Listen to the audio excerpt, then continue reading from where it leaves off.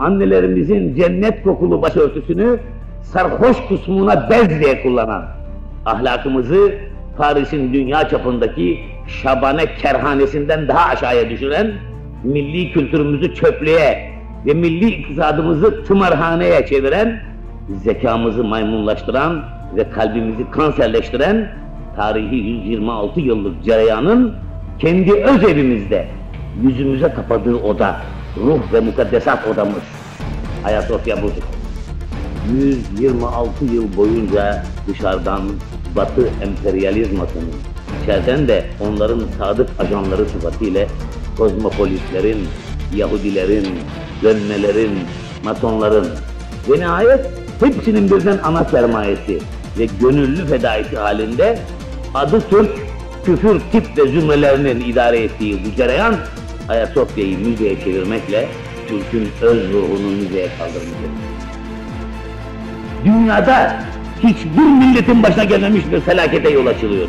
Ayasofya, Türk'ün öz evi ve ana yurdu içinde dünya Türklerin eliyle manasından koparılıyor.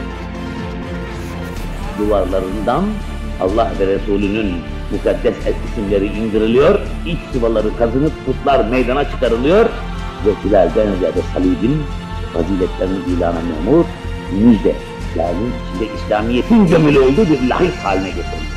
Türk'ün ruhuyla beraber maddesini, maddesiyle beraber de ruhunu Hristiyanlık alemine peşkeş çeken, buyurun ne duruyorsunuz, gelin de bizi esir edin diyen bir hava yaşatıyor. Ayasofya'nın hilal hakimiyetinden uzaklaştırılmasıyla düşmana aşılanan gayret tehlike ve suç. Yıkılsa bir şey değil de bu haliyle bütün bir milleti ve tarihi her an öldüren, yine dirilten ve tekrar öldüren bir felaketten başka bir şey değil.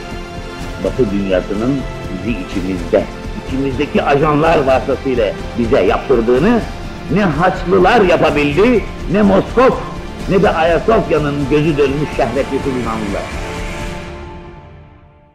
Sonu İslam kıskacına yerleştiren Fatih Sultan Mehmet'tir ve eğer ondan sonra kıskaç kapatılamadıysa tut kapatamayandır.